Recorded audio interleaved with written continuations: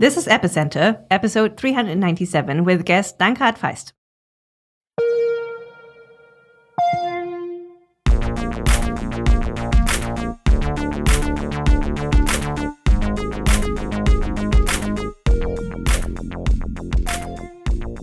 Welcome to Epicenter, the podcast where we interview crypto founders, builders, and thought leaders.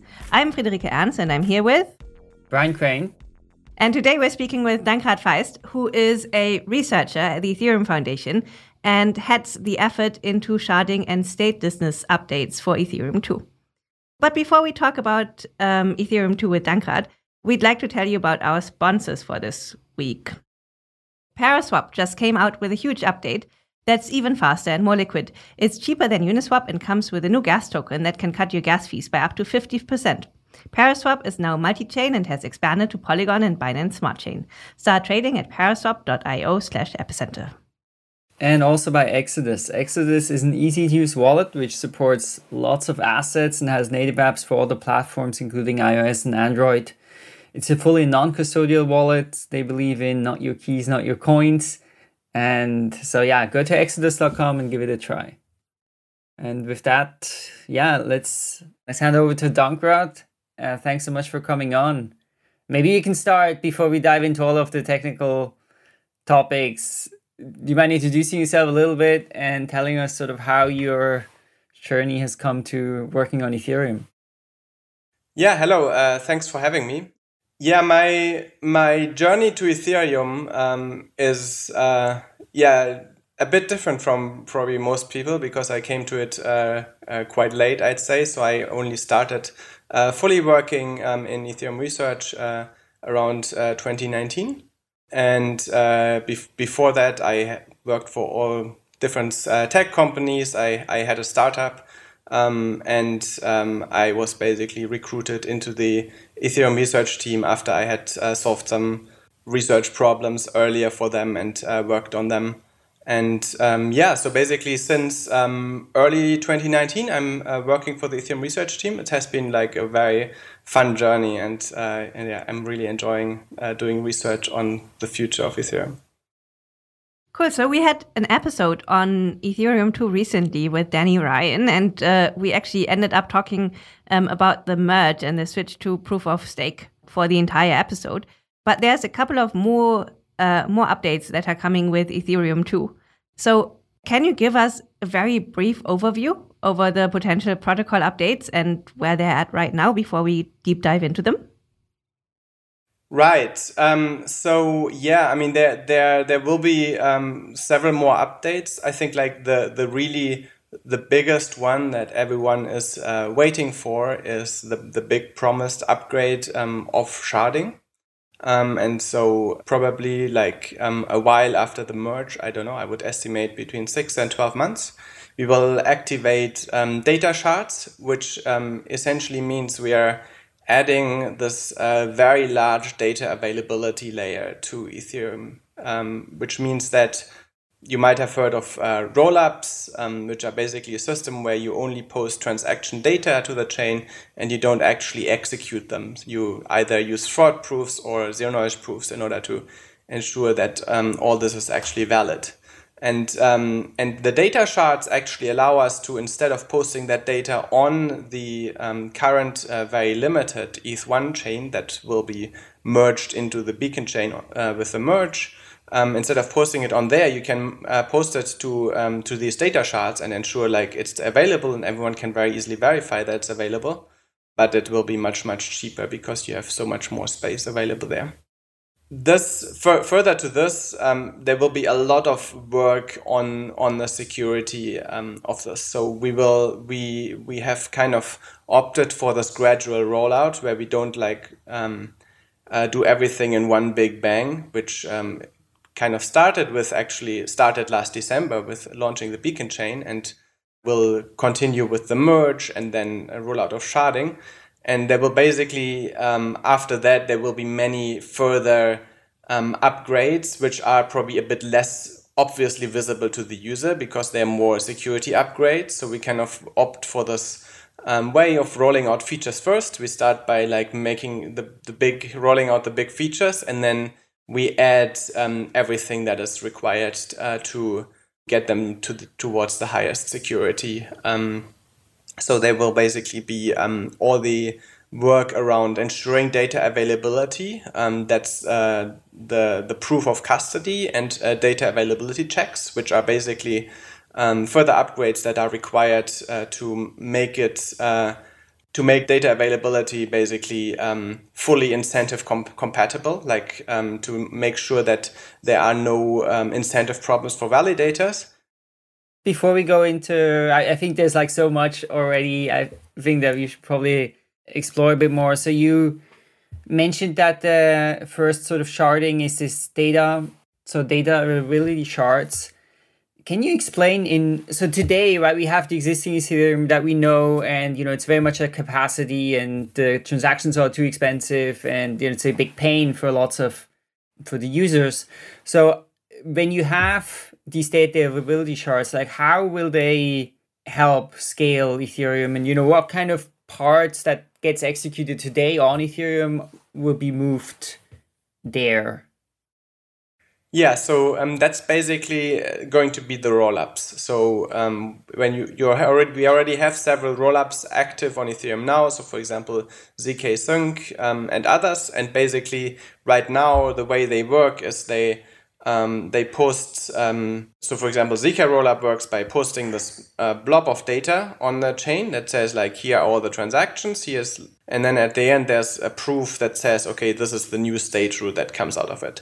So uh, with data availability shards, you ha only have to put, put this very last part on the execution chain. You only have to put the part that says, um, this is the proof and this is the new state root on the on the actual execution chain and everything else um, just uh, can just go on uh, on the data availability shards so you basically save like a huge amount of gas that you don't need anymore to post this data but actually today i guess you don't have roll ups taking up a, a big part of the block space no I haven't looked at the stats in detail, um, but I would suspect that um, at least, I mean, they're still very, very new, right? Like um, we we haven't had roll ups for a very long time, but um, I yeah. I would suspect that they would very quickly uh, dominate the block space because essentially they allow you to do things paying about 100 times less gas. So why would you do tra- a transaction and pay 100 times more if you can do it for 100 times less? and and of course since it's much cheaper there will be a lot more transactions right? I mean it's a kind of obvious like consequence from having some sort of demand curve for transactions. Um, so i would say uh, the natural economic equilibrium should be that almost everything happens inside rollups okay so um, let's talk about the concept of, of a shard right? So is a shard kind of like a second blockchain that runs in parallel with the first one or how do i how do i imagine this? So I, I, will I will answer this question uh, from the perspective of um, data sharding, which is kind of this goal that we're currently working towards, and um, there might be or there will likely be in the further future execution shards, which will actually also be also um, execute code, um, but that is currently like that that is several years in the future, and um, and so I, I, I will not uh, take that mainly into account because data shards already achieve a lot of what we want to do.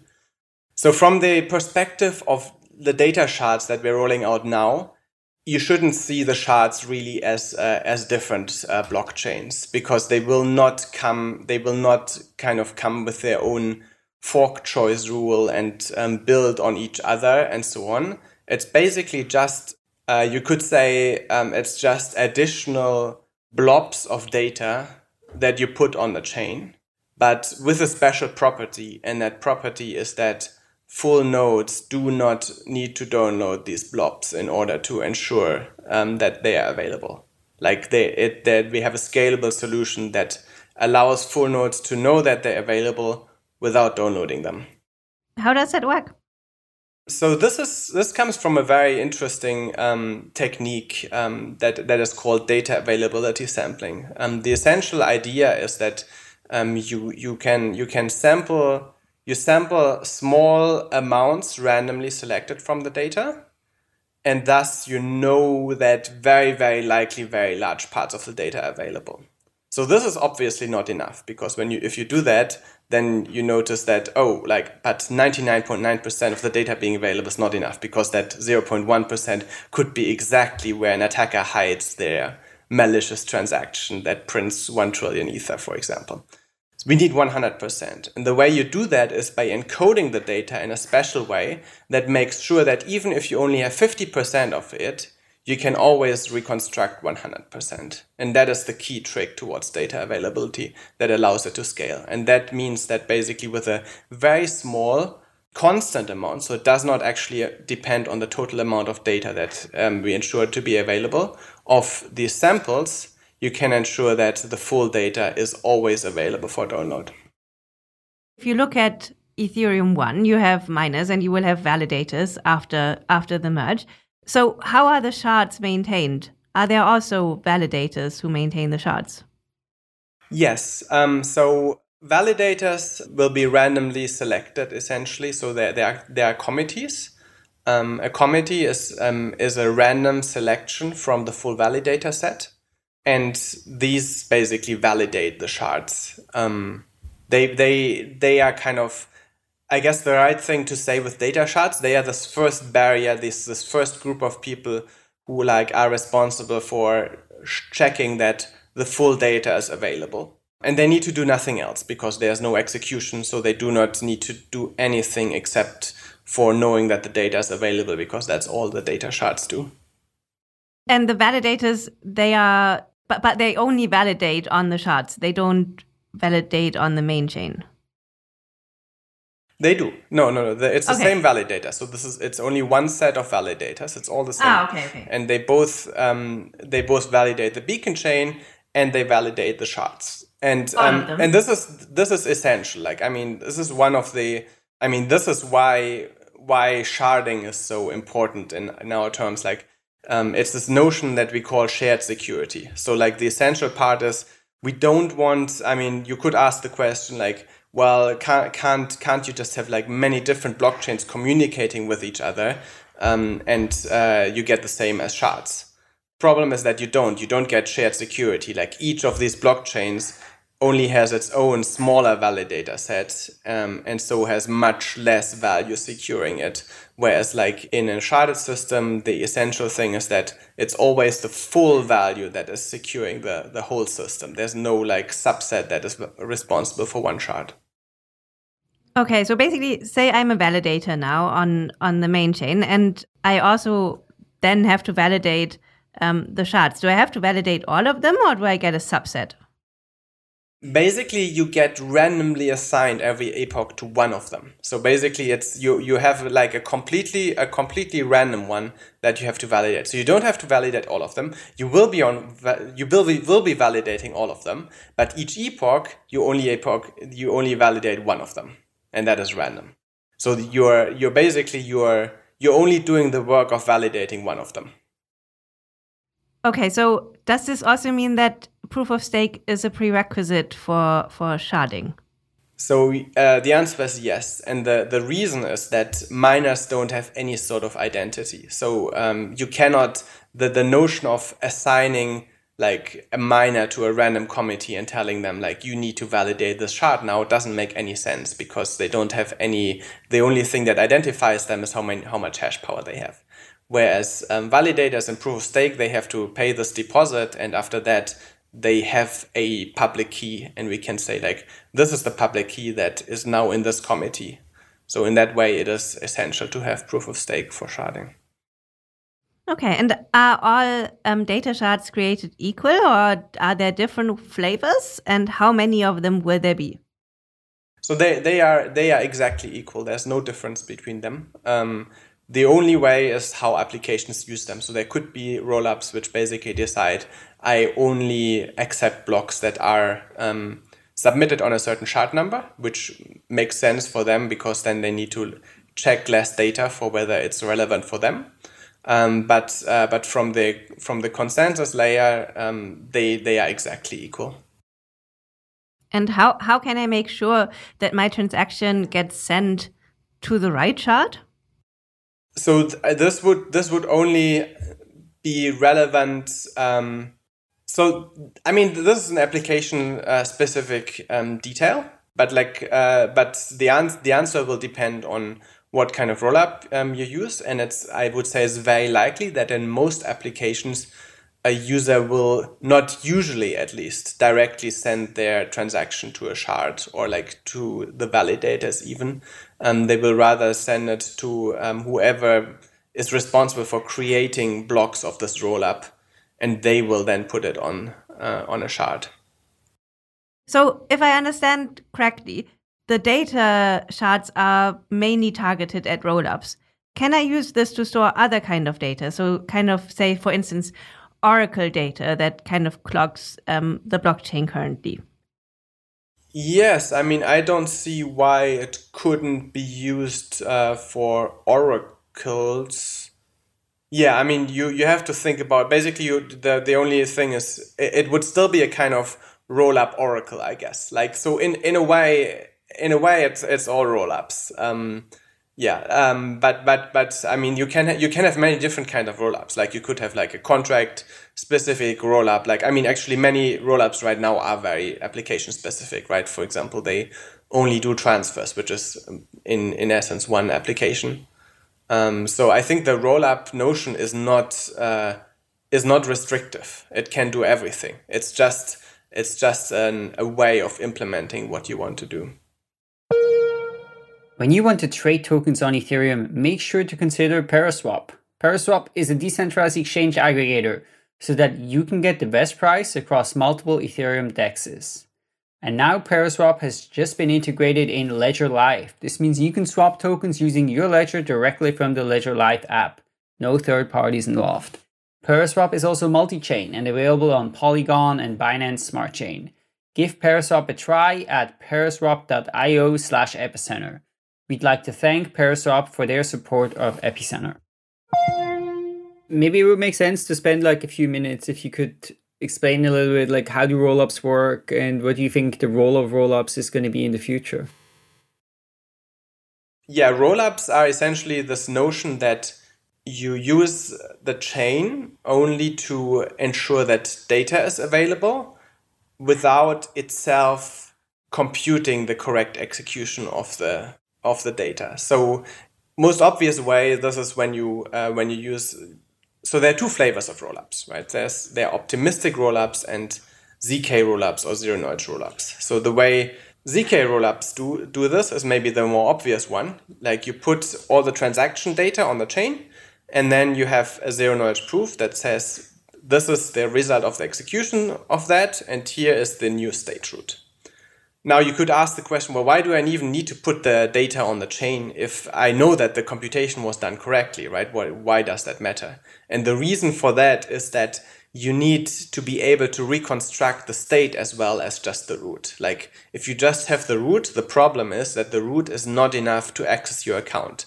You always also need a proof that shows that your balance in that account is X, right? You need this as well. And you can only generate that if you have the state. So that's why it's essential for preserving this um, trustlessness that you that you also get all the data that's required to reconstruct the state. This can actually be less than all the transactions. So you can also in a ZK rollups, for example, it, it can also just be a diff of the state. It can just be literally like the difference in the state that you need to put on chain. But that part is essential. An optimistic rollup does it slightly differently. It, it puts all a list of all the transactions, and in this case, it has to be all the transactions, even including signatures, um, on the chain. And uh, also adds like the new state root says like this is the result of executing this. Um, and then anyone can, if, if there was an incorrect one, if there was some incorrect execution and this is not the correct outcome, then anyone can post a fraud proof that reverts this block and, um, and resets the chain to the previous state. So that ensures that an, a fraudulent transaction can never be included in that rollup. To get some more background on uh, ZK Sync and ZK rollups, last week's episode was with Alex Gluchowski of Matter Labs, so uh, you can also go back one episode and check that out. So, Dankrad, can I ask about this switch from full shards or execution shards, as you called them earlier, to data availability shards? Because if I recall correctly, a while ago, the idea was to actually have full execution shards that would um, not just make data available, but also be able to execute smart contracts and then um, loop back into the main chain. Wh why was this um, abandoned? Or at least, if not abandoned, then kind of split into two, into a journey of two parts. Right. Um, so um, to be actually clear here, I think doing these data shards first has always been on the roadmap, but was probably less emphasized. I guess uh, several years ago, it was thought that this is like just a first step to kind of test the whole system out and test it under load. And more and more, um, it has become clear, I would say, how awesome rollups are. Like how, what, because they on their own already provide, provide this 100x scaling essentially if they do if you do them well. So in the end you could ask the question like why would you do why would you even do and like even on the execution shards why would you do anything other than rollups? Um, so this is i would say why it has more and more converged towards this notion of well actually like the main the main advantage like the the huge scaling comes when you have the rollups and um, and and maybe execution in the end won't even be necessary. But a factor of 100, I mean, that's still not enough, right? I mean, basically, if you look at the adoption of Ethereum right now and the potential adoption of Ethereum, and if you if you then also look at what the um, what the gas prices yeah. currently are, it seems to me that a factor of 100 yeah it's something but it's not a lot. Oh right absolutely. Oh no no but i mean uh, the uh, the rollups can scale the current system as it is pre-sharding by 100x now once we add sharding data shards just data shards to that then you get another like 100x of the data availability roughly like order of magnitude. So now we're at 10000x so that that is that is a serious amount of scaling to start with, and that is not an absolute limit. Like we can add further shards. Um, so the sixty four shards is um, is according to that that is that is just a constant. Um, of course, there are trade offs, and like um, it it depends on how much value we have at stake, and also importantly how many users there are, how many shards we can support um, securely but it can be scaled further from that point. So there's no that that that 100x is not the limit that we are at. Let's go back to the execution shards. So I now understand that uh, the data availability shards were always part of the plan, but what do you gain from execution shards that currently data availability shards cannot give to Ethereum? So I guess this depends. Um, so, so this, this basically, this depends on how far um, zero knowledge proof technology uh, will develop in the future. So I think the main downside, there, there are basically some downsides of optimistic rollups in terms of their finality. Inter- well, I mean, yeah, so, so basically they, they need this very annoying um, two week withdrawal delay that you can kind of work around for small users like that don't have too much value um, but uh, but it's always going to be a problem. Like the solution uh, is great for many things but it's not perfect. So now if you if you have very good if we can get a very good uh, zero knowledge virtual machine basically a complete virtual machine that you can run inside um, a uh, zero knowledge proof um, within the next few years then theoretically you can already with that um, like build essentially what are execution shards um, from uh, from what we have now. And then potentially at that point getting execution shards might just mean nothing more than enshrining that um, that zk rollup that is doing that. Um, so that might be like a very simple step if we if we get there well, I mean, I'm, I'm very interested to see the progress on this. Like the zero knowledge proof space has like made really amazing progress and almost every year like delivered more than I would have expected. Um, so I would uh, I would not say it's impossible, but it is still a very very difficult thing to uh, to deliver the full uh, the full kind of everything that the EVM does now in a in a zk rollup if we don't get that, then execution shards might basically special kinds of shards where you essentially get much faster finality because the difference to like the problem with the with the optimistic rollups is that you have these kind of finality delays um, and uh, and if we if we do make validators responsible again for checking execution, which is essentially what an execution shard would mean, then then you would basically get um, get this another settlement layer on on top. I would say. Cool, that's super interesting. I, actually, I would would love if you can speculate a little bit on how do you think the sort of supply of Ethereum block space and throughput is going to develop you know, over the next year so? And how much and when do you think those different technologies will start to have an impact? Right. I mean, I think my intuition is that we can see the impact of rollups right now. Like we have seen this huge crash in gas prices essentially. And I think that is probably partially because a lot of people have actually moved uh, to rollups now for some simple applications, um, which is amazing. I, I don't think the gas reduction on the main chain is going to last, but the reduction on the rollup is going to last. Um, so so that's pretty great. So there there is basically right now, at least for simple things, there is already this um, pretty much 100x uh, increase in supply. Um, as long what, as what you want to do is uh, transfers of uh, ether ether or ERC20 and then the next the next very big thing from that will essentially be sharding. So when we activate the data shards, then um, for everyone who uses rollups, there will be another 100x increase in supply in block space. Let's get to our sponsor, Exodus. Exodus is a fantastic cryptocurrency wallet that strikes the right balance between ease of use, security, and great features. You can get Exodus on the iPhone, desktop app, web app, Android, whatever platform you use. It's a non custodial wallet, and that is so critical. Because what's the point of crypto if you don't control your own assets? With Exodus, you always do. They're old school and they've been around since 2015. Over 1.2 million users rely on Exodus, so you know that they've stood the test of time. They have support for over 100 different crypto assets and from within Exodus, you can easily change one different asset to the other.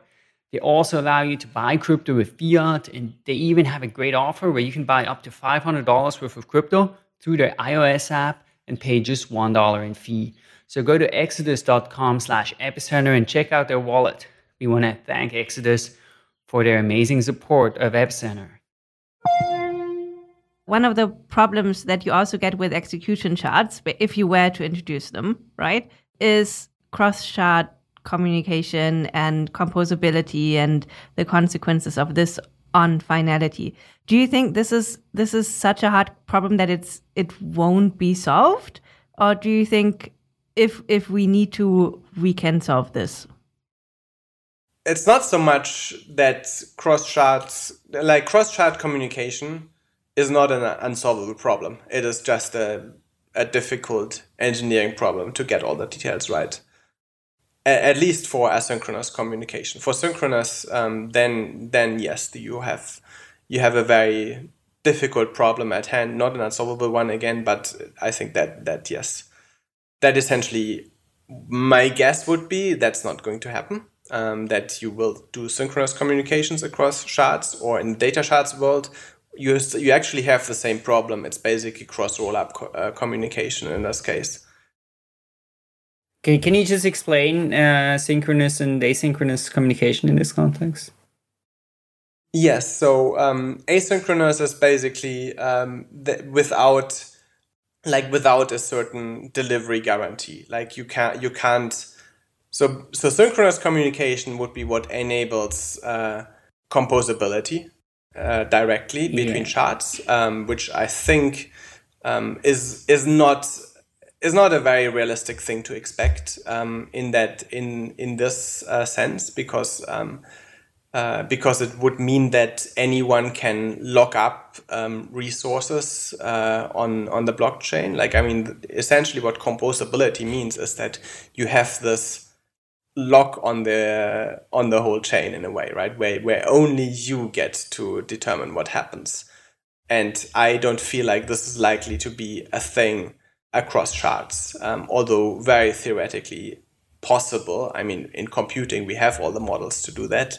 Um, it doesn't make that much sense to me. There are all kinds of um, ideas to get around this, um, but I think the more realistic thing of how that will uh, work out um, is uh, that that you have certain ecosystems in certain shards or certain rollups um, that care about composability internally, um, but not but are more loosely coupled um, to the other systems around them and are okay with asynchronous communication, which is um, you send a message and it will be delivered at some point, but you don't have any guarantee when, like any absolute guarantee. In practice, it will always be very, very fast, but you have to consider this very worst case that it could be delayed for a very long time.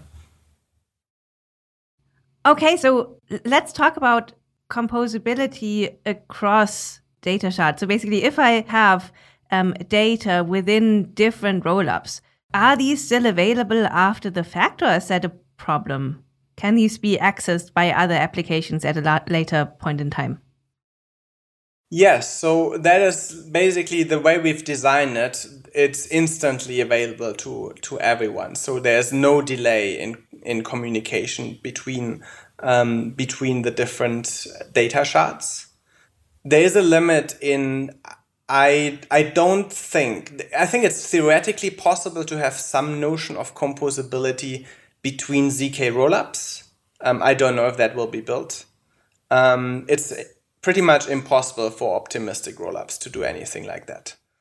However, I think maybe one notion we should uh, uh, we should correct here that many people have. So one rollup doesn't necessarily have to be only on one shard. So you could have a rollup that basically takes up 10 shard blocks like every in every um, cycle right and uh, and essentially that rollup internally can provide full composability so it is not like we are limiting any sort of composability between the data shards as long as there's one rollup, and um, at least for zk rollups, we, we can in theory build these big rollups. Um, it's a matter of optimizing everything enough that uh, provers can handle this and are not too crazy expensive.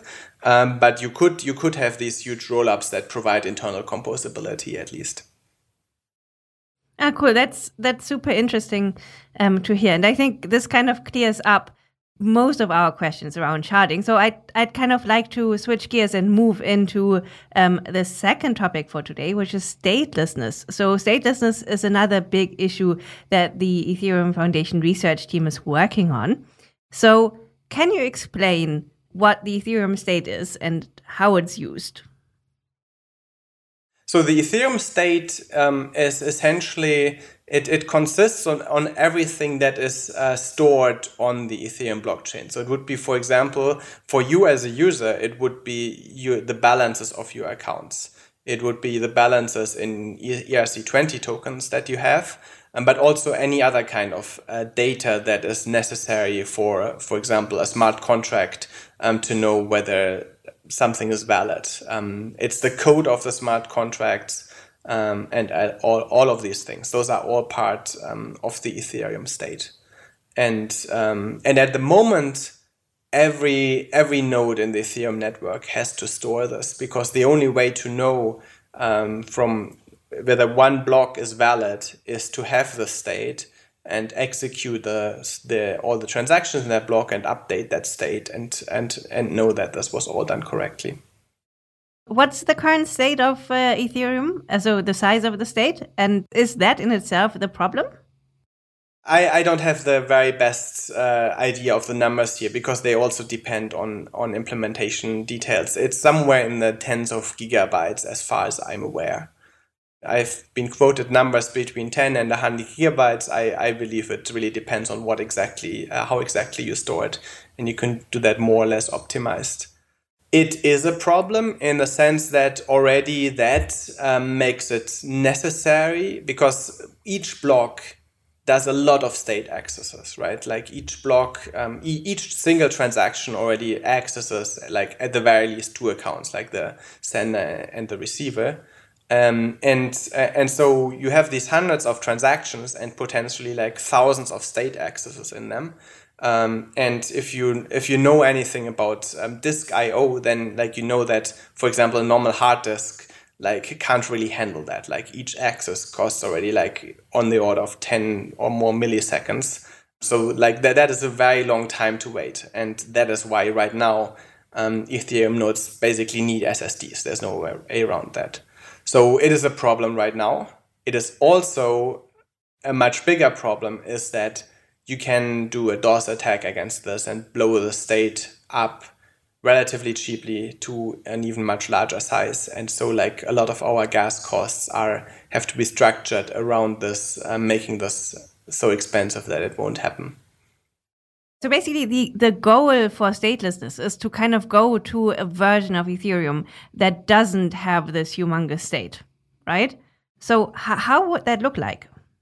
Yes. So, to be clear, the state will still be implicit, and some people, and this is something to be uh, discussed further, um, some people will still store that full state. Um, the question of statelessness around who needs to store that state. And um, and so uh, one thing um, that, that you can do basically with statelessness uh, is to structure everything so that you can uh, you can validate a block without needing the state. Like you can like just if I just send you that one block um, in isolation without anything else, you can just from that information decide whether it is a valid Ethereum block or not. You do not need any other context than that.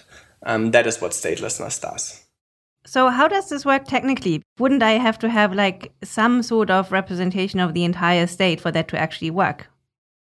Um, so it works because uh, we have cryptographic uh, techniques that allow us um, to uh, commit um, to uh, to states in very succinct forms, and like basically everyone knows about these. They're called uh, Merkle trees, uh, as is for example one of these. Um, so basically it gives us this just 32 byte um, what we call state root that that is a commitment to the state in the sense that um, you cannot find any other state that would would allow you to compute this commitment and uh, and what statelessness does is it, it gives you all the data that has been read by the transaction including so-called witnesses and the witness is a proof that this is the correct data given the state root. And you have the state root, like you know that because it's only very short, so you can just have that. So that's the only thing you need to store as the current state. Um, and the witness tells you, yes, this this is the this is the correct data given that state root. Okay, I see. You you said earlier that some people or some uh, validators still have to have the entire state. Why is that?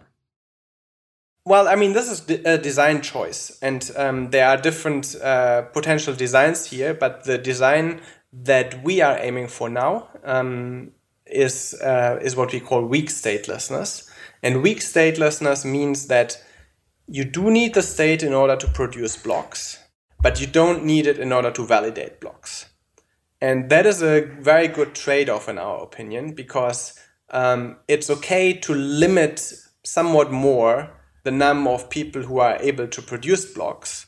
And that, that is in practice, unfortunately, in some ways, going to happen anyway because of the whole MEV thing. But as long as you have the, the ability to very easily verify it by everyone, that is okay. That, that has that has some very nice uh, implication in terms of um, the design space. Like it means that um, as a user, for example, you don't like if you don't have this weak statelessness, if you want like strong statelessness in, in quotation marks, then then what you would need is that every user always keeps the witnesses for their accounts around. Uh, and I don't think that is a very practical design. I think like from the UX point of view, the the weakless statelessness is really like a, a sweet spot um, that is a very like kind of nice spot to live in. Okay, so this would then not reduce the size of the state, but basically it would reduce the number of people require to actually keep that state. That's correct. And another idea that's been thrown around is state rent, right? So basically, so you don't actually pay to store some sort of data on the blockchain once when you when you send it in your transaction, um, but you actually pay continuously until uh, until you need it no longer stored or your money runs out and it gets deleted automatically. Where's that at? Do you think that's going to happen? Do these ideas work together, or is this something else entirely? We we had these discussions around state rent, um, and um, in a way, so statelessness um, alleviates this problem a lot because suddenly instead of like I mean we, we want a very large number of full nodes, right? In the ideal um, world, um, everyone who um, who works in any way with the Ethereum blockchain would run their own full node. Uh, for several reasons, that's not really completely realistic now, but this is the future that we are working towards. That in some notion that this is possible, um, and uh, and therefore like statelessness really like reduces this problem of like having the state a lot because from like tens or hundreds of thousands of parties or millions who need to have all the state around all the time on their own ssd um, you suddenly reduce it to like say hundreds of parties who are actually producing blocks on ethereum who have very large incentives anyway to keep the state around um, I mean, they yeah, they, they will need it to produce the blocks. So uh, it alleviates this problem a lot. Um, it is a debate, I would say, whether that whether with that um, state rent is still necessary. I would say if it comes, it will come in a in a slightly different form from what people consider state rent now. So it won't really be um, a notion of you continuously pay in order to have your state alive. It's more that um, your state will be will be will after some period, say one year, if you didn't do anything with it, it will become part of of a kind of old state where it can be reactivated at any time for like maybe paying slightly more gas. It's not you you you can't work with it anymore. So basically there's there's no continuous payment. There's just like uh, probably this is at least the most likely ver- version of state rent that I see would be that if you don't use your state for a very long time, you will pay slightly more because you have to pay for a slightly larger witness. Okay, so I see how the size of the Ethereum state is a problem for some users and that it requires SSDs and so on. Um, but in some sense, an even larger problem with Ethereum is the fact that the EVM doesn't allow for parallelization of computation, right? So basically, you have to do everything in a certain um, order um, and always look at the entire state. Whereas some other blockchains have taken a more advanced approach. I mean, they were also later to the party. So basically, for them, it was easy to see what the problems are. So I'm I'm not taking sides here, but um, how do you feel about this inherent inability of the EVM to allow for parallelization? Yeah, I mean, I think that's that's a good point, um, and that is that that's very uh, interesting. I honestly, I'm not an EVM engineer, so I cannot say in detail if there if it's impossible to change this um, I can I I think like one large part of that is actually related in some way to statelessness in that one one thing you would need in order to parallelize things is to know what state each transaction accesses, right? And in a way, we are starting to do that. Now, I don't want to say we have a complete way um, to parallelize things, but yeah, I mean, I, I can see that that is that is definitely like a, a very very important part, and that that would allow um, for a certain amount uh, of scaling if if you if you if you parallelize things. And I would say like um, it's a, it's certainly a very good decision to to design around that. Um, and I would encourage people who design rollups to to do exactly that, to think about that as well, and uh, and maximize uh, the parallelism they can get out um, in order to be faster. Well, let's zoom out a little bit and talk a bit about, you know, Ethereum and where this project is going. Like what makes you excited and what do you think is the impact that Ethereum will have on the world? Wow, I think like uh, that that is it's still I mean it's very very hard in our time to make uh, predictions about things further than five to ten years out. I would say, um, because there's just too many things that are on on exponential trajectories. I'll settle for five to ten years out. um, I think um, Ethereum uh, can provide many, many different things uh, for different users.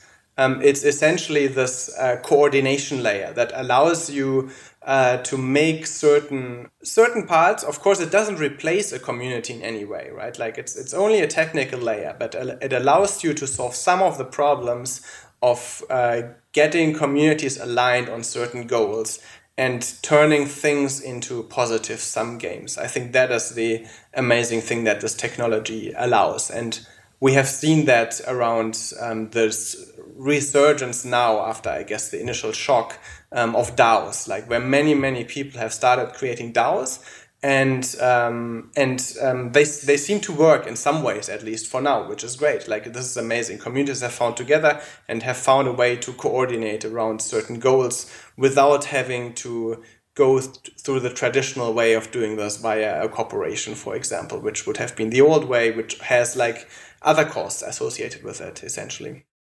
You, you said that um, it turns things into positive sum games. So let me ask you for the metric. So basically, what's the metric that you think is going to improve for the average Joe using blockchain technology?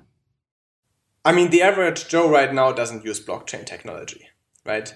Um, basically, nobody does that. Um, and uh, I think the, the question can be on many, many different levels. And I think we're already seeing it, surprisingly. Like it, it essentially, it changes the game of finance at the moment, mainly because financial applications are what comes first, just because they have, just have the most money, the most willingness to pay. Um, but, uh, but this permissionless ecosystem that allows anyone to just go there and create, like, create something and deploy it without having to ask anyone for permission allows people to just play with it a lot. And I think we are right now, we are already seeing the effect of that in terms of all the the fintechs like I mean my my online banking apps have improved like tons over the last years. And I think this is obviously not based on blockchain technology, but it's based on the pressure that these companies now see where the comp- competition will come from. Like you don't have to be a blockchain user in order to see the improvement. It will come to you anyway because the others have to keep up. Otherwise, we're coming for them. So you mentioned uh, finance as this kind of first area that's getting a lot of traction, and then you also talked about how you know on a high level you see Ethereum or blockchains as this like coordination layer that allows you know allows people to accomplish things more efficiently together to what extent do you also think that blockchains will kind of financialize a lot of things around coordination that are today don't rely on financial incentives directly? Oh, this is a difficult uh, question. I'm not. I'm not sure what you mean. Like, do you mean your local sports club is going to become a DAO and uh, suddenly everyone has a token or something. I, I'm not sure what that question refers to. Well, I guess that sort of ties into like I think Gnosis especially has done like some work around ideas like this too, right? Where you use like prediction markets to have uh, make decisions as organizations and. Um, I I, th- I think I mean I, I can see the fear, but I think like mainly it provides new options. I don't I don't think nobody is going to force you to use a financialized prediction market. It is still like it is still your choice. So I don't see why why it would it would become like a forcing function for average people to just uh, financialize everything. Um, you can, um, but this is your choice. And I think like um, many, many blockchains will will provide things that are not financial in nature. Like um, systems can be built on top of them. Who says we can't now already, for example, build um, a Twitter, um, a decentralized Twitter, for example? I think that would absolutely be possible. Um, people are already be building decentralized messaging apps. Um, that doesn't have to be be financialized. So I don't I don't see that automatically everything has to be financialized. So, so you think uh, the fact that open finance has moved in first um, is just because of ideological proximity, or you know, being tech adjacent and uh, the more social apps are going to come at a later point in time, but they'll come? I think right now, I think it's just that the um, the more social, for example, apps, uh, as you call them, uh, are just priced out of it, um, and that is a natural consequence of uh, finance just always like being there and and being just a very valuable application. Like let's be honest about it, finance is a very valuable application, um, but it means that it prices out a lot of things, which is kind of a shame from the development perspective because obviously we are losing kind of important time where these other systems uh, could bootstrap themselves and could start providing valuable things. Um, but uh, but I mean we are now building the rails that will allow this in my opinion. I think like when we have sharding, uh, when we have this, um, people will build uh, all these other systems on them and they, they will come. I think. And I think I think I'll end on a divisive question here. Um, do you think um, the applications that will need less economic security because they will not be securing the values that financial applications inherently do will actually need Ethereum as a base layer? I mean, could they could, could they run on any number of other um, protocols that don't have the economic guarantees that Ethereum currently has? I think we're there, there are different questions here, and I mean, I I would say probably yes if you if you expect that the decentralized Twitter will just put its data on the shards. I don't expect that that will be the case. I think what it will do, what many applications might do, um, is use uh, some blockchain and maybe Ethereum because it is the settlement layer, but who knows whether that is necessarily the case in the future, um, will use this. For example, any of these applications, they can, right now, let's talk about Tor, for example, which is concrete decentralized applications that's out there now. But it has huge problems getting people to actually run nodes, right? We we do need some sort of payment for this. Like we do need some way of getting people to like run the infrastructure and so on.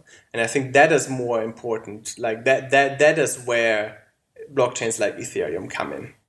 Probably not for the data itself. You don't you don't need that. But but it could be for some sort of commitment to the data. That makes a lot of sense. Um, but not for the data itself i would i would predict in the long run but the economic incentive layer, surely the, the economic securities that should require depend on how large the incentives are, right? So basically, if the incentives um, are minuscule compared to the um, security that Ethereum affords you, then using Ethereum as a base layer may be overkill, right?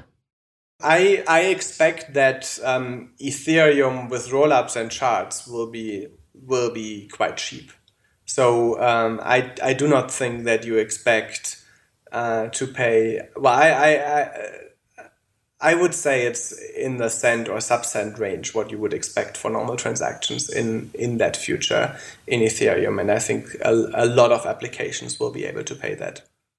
I think this is actually a super nice closing statement. So, sub cent transaction fees, you heard it here first. Dankrad, thank you so much for coming on it was uh, pretty technical, but I think there was a lot there. So if people want to dig into this um, somewhat, where should where where can they go and find more information on these topics? The, this depends obviously on the technical level um, that uh, they want to get into. Um, there are a lot of people trying to write blog posts about um, about these things. I, I can certainly collect some resources and uh, and we can add them to the description of the podcast honestly, we could do better in that respect. I don't think we're like we're. Uh, and I would encourage if anyone wants to come forward and is good at at digesting the information, writing it up. We we need more of that. It's way too little in the whole space, and I know many people have trouble catching up. If you really want to get into the tech, then I think ETH Research, the forum, is an amazing like uh, resource that has a lot of stuff, and it's usually not super difficult to understand. People try to make it somewhat understandable, but the main problem is just a huge amount of information to digest that most people probably uh, can't completely catch up with. Okay, we'll we'll link to these. Thank you for joining us on this week's episode. We release new episodes every week. You can find and subscribe to the show on iTunes, Spotify, YouTube, SoundCloud, or wherever you listen to podcasts. And if you have a Google Home or Alexa device, you can tell it to listen to the latest episode of the Epicenter podcast. Go to epicenter.tv slash subscribe for a full list of places where you can watch and listen. And while you're there, be sure to sign up for the newsletter so you get new episodes in your inbox as they're released. If you want to interact with us, guests, or other podcast listeners, you can follow us on Twitter. And please leave us a review on iTunes. It helps people find the show, and we're always happy to read them. So thanks so much, and we look forward to being back next week.